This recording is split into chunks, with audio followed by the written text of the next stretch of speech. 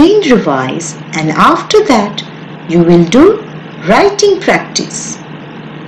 Are you ready? Can we start?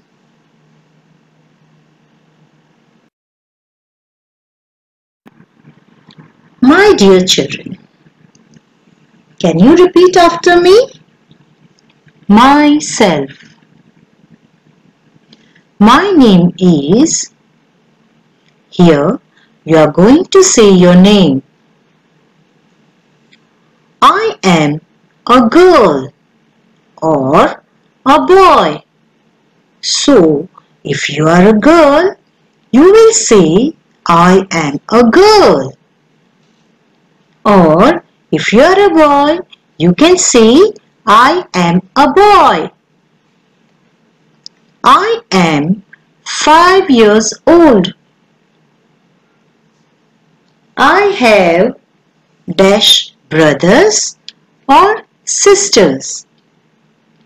So if you have any brothers and sisters, you can say I have one brother or two brothers or sisters.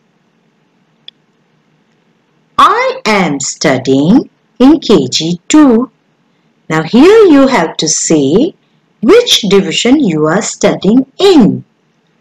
If you are studying in A, you are going to say I am studying in KG2A or B or C. Likewise, Okay children, like this you are going to practice. Bye.